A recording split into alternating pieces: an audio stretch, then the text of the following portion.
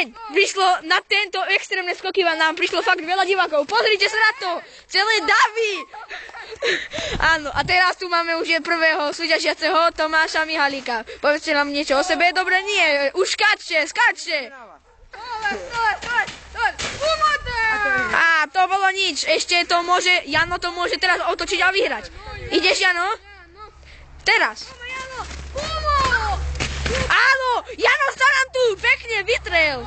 Krása, nádhera. Zatiaľ má viac bodov Jano Kusy a Tomáš Mihalik už ide.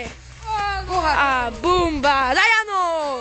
Áno, Jano, Jano má zatiaľ stále viac bodov. Tomáš Mihalik už ide, rozbieha sa, skáče. Ale toto bolo neuveriteľné, Jano skáče. Nič, toto bolo fakt nič, vážení priatelia. Tak toto bolo niečo! Tomáš Mihalik už má veľký náskok na túto súťaž. Ale Jano, to je neuveriteľné. Ukáž nám svoju veľkú prdel. Áno, Tomáš Mihalik už ide. A bum! Krása, krása, to sú rekordy. To sú rekordy, toto vážení priatelia. Toto už nemá hraníc. A Tomáš Mihalik je úplne celý vo vode. A Jano... A Jano taktiež. To je neuveriteľné. Jano, Jebuš na to, tak toto bolo